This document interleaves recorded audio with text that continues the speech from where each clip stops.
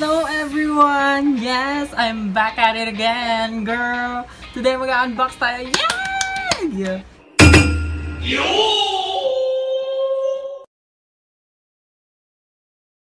Well, hindi naman siya totally unboxing kasi yung contact lens nabukas ko na since the last video, yun yan, Ivana Ek Ek. So, na-try ko na yung Glamour Brown. So, ngayon, itatry ko naman yung Secris Gray. Okay. So, nabili ko siya sa Gui Shop for yung Glamour Brown, 350. Yung Secris Gray ay 260. So, meron silang bundle doon, promo bundle for 600, dalawa na, isa 400. So, yun. Check nyo na lang yung site nila sa Shopee. Meron silang, ano doon, um, store. Kum kumbaga. So, ito siya.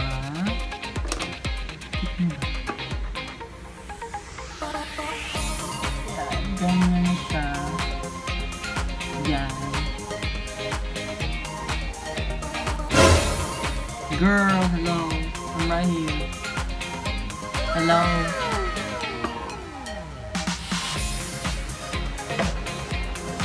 There we go. So, lalagay ko na siya.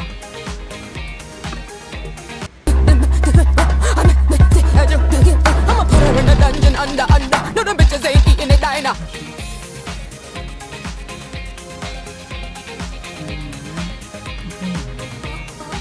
Wait lang, masasalamin lang. Gamit ko yung compact. Wait lang. Madali lang naman siya ilagay for beginners. Hindi ko lang alam kasi merong ibang solution na mahirap ilagay sa mata. Yung iba kasing solution, mahapdi sa mata, ganun. Pero yung nabili ko, asa na ba yun? Eto. New look, nabili ko siya sa um, Victoria Optical sa second floor ng San Lazaro. Mura lang siya, pero nakalimutan ko na kung magkano.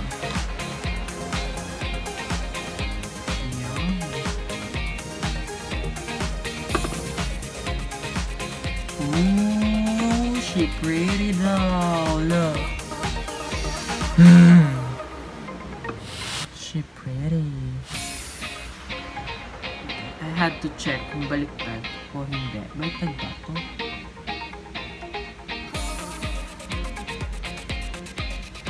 Ayan. So, this one again. Era, oh! Ito mo, nalaglag.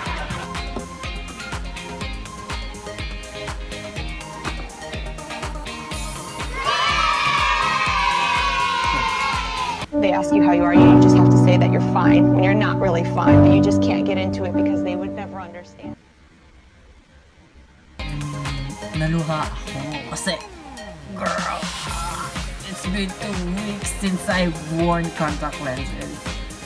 And oof, my eyes are still adjusting. Ayan, so medyo nagsisettle in na yung contact lens sa mata ko.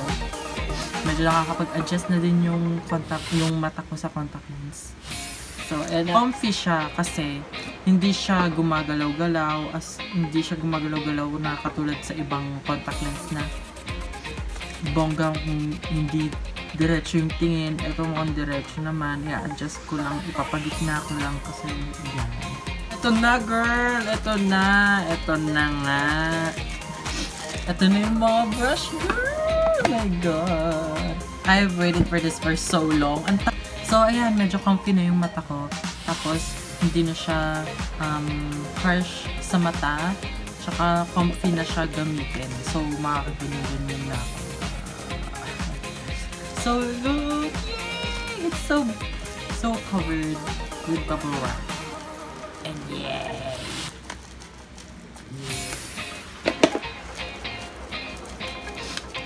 Yan? Bongga naman mag... Ano? So, nabili ko pala to sa Makeup Stash Manila from Shopee. Yan. Nakikita ko na, friend. Nakikita ko na.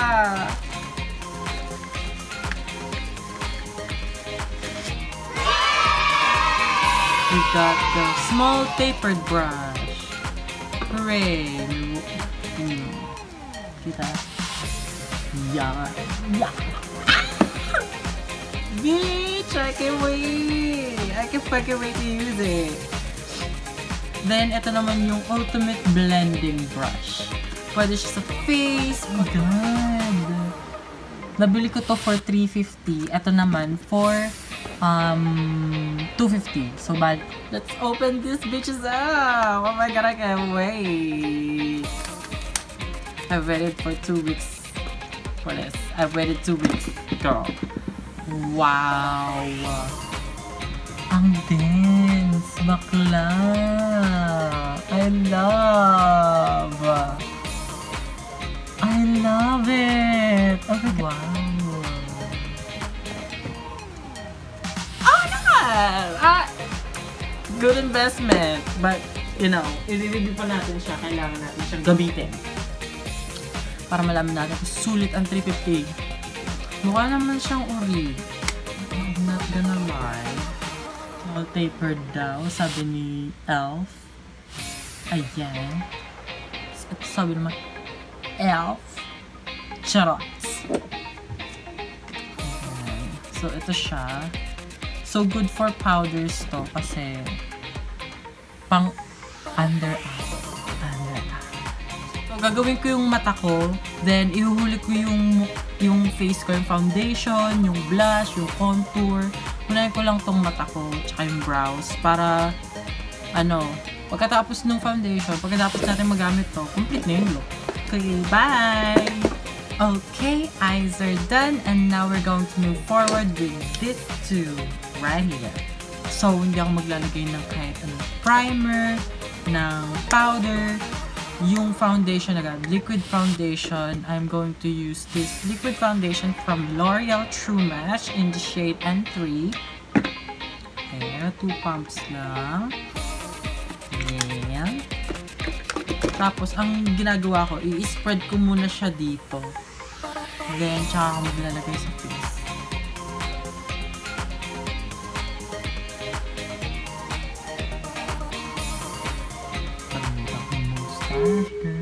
Bugote. Sumpa. So, ayan. Gagamitin ko na siya without washing it.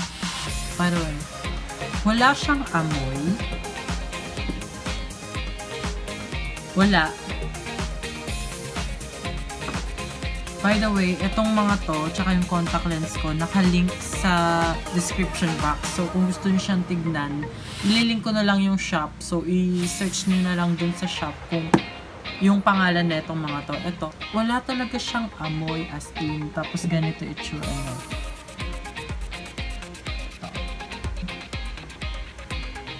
Super dense siya. Basta dense. Tignan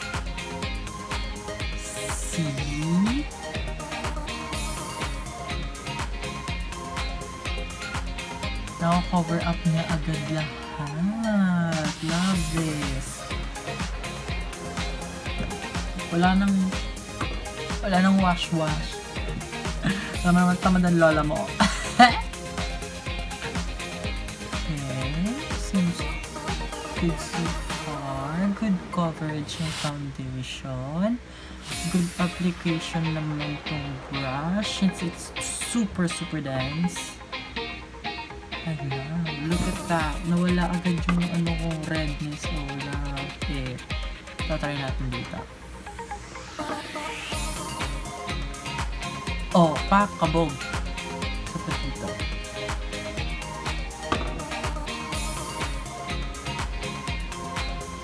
Bongga! Pero ito hindi niya natakpan kasi nga drinag ko. Kaya kung maglalagay kayo using a brush, better to tap. Not to drag. It's always not good to drag on your skin kasi nga nababanat yung mukha nyo. Well, gusto naman natin lahat eh mabanat ang mukha pero not in a bad way. You know.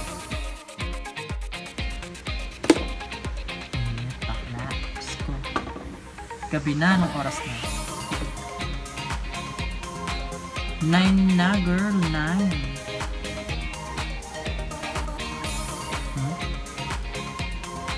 Nine. Nine. Balen. Una kong gagawin, blend ko yung mga highlights. Kasi syempre, ayaw naman natin makaluan siya ng pink, ng brown.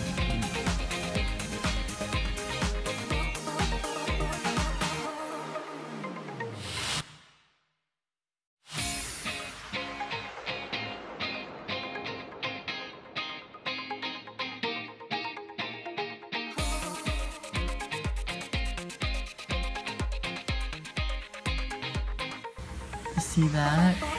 Girl, it blended so well. Para lang doon. Pero taga natakpan niya to. Tsaka to. I love it. Wala naman to. Wait lang. Ayan.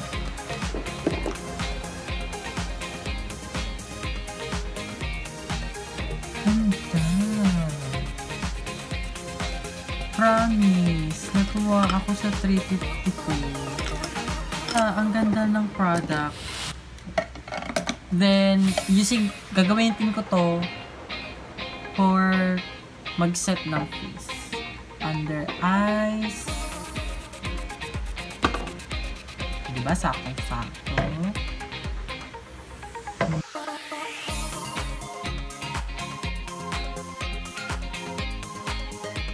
Gusto ko magdagdag ng blush.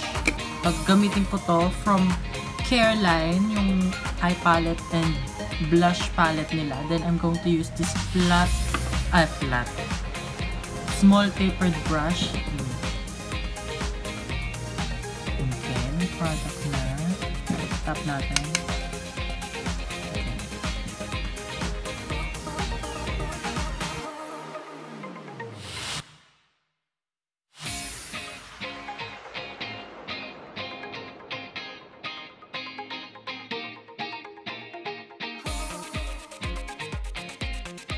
So gorge! Oh my gosh! Mmm. I mean, this. Look. mm.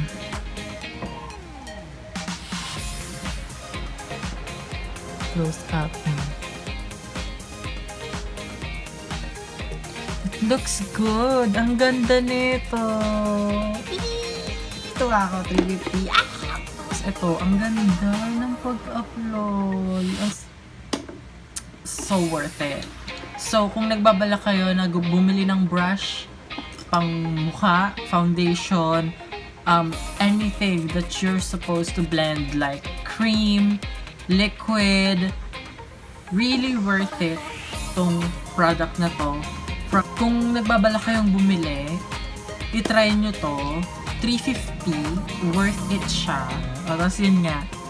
So, try this out. Ito, etong brush na to, worth it na worth it siya gamitin.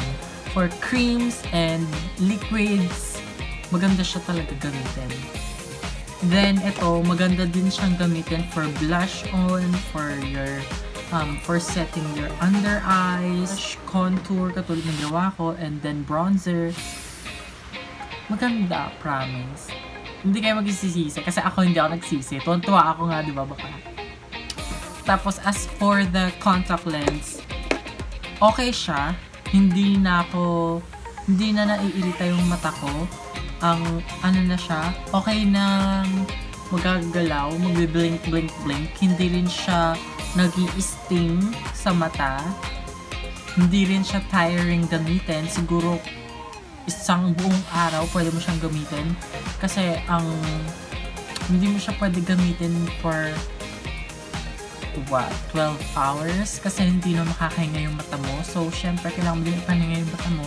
Kung for, um, ang tawag dito? For aesthetic purposes, siguro okay naman na yung 4 hours kung event lang, um, 4 to 8 hours kung nasa office. for aesthetic purposes ha, dati na ako bumibili sa Gui Shop. Dati pa. Bumili, lagang, la, ang lagi kong go-to na brown contact lens, eh, Glamour Brown.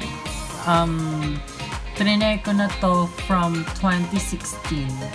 Yes, girl, I am that loyal to a contact lens brand. Kasi ayoko na yung papalit-palit ng contact lens brand. Ewan ko, hindi ko lang siguro tinatry yung iba. Pero, okay ako dito. So, naglalast to for 6 months. 6 months lang. Huwag mo extend. Kung isang beses mo lang siya nagamit, huwag mo nang gamitin after 6 months. Kasi expired na siya. Okay? Let's just be safe and also yung pinapromote ni Gree Shop, kung hindi ka pa nakakapag-try ng contact lens before, try your um, ophthalmologist. Is that right? Let me check. According to Wikipedia, ophthalmology is a branch of medicine and surgery which deals with the diagnosis and treatment of eye disorders. I was smart. Thank you guys for watching and I hope that you'd enjoy this video. And, you know, balik pa kayo sa iba, sa iba ko pang YouTube, YouTube videos. So, thank you ulit. Bye-bye!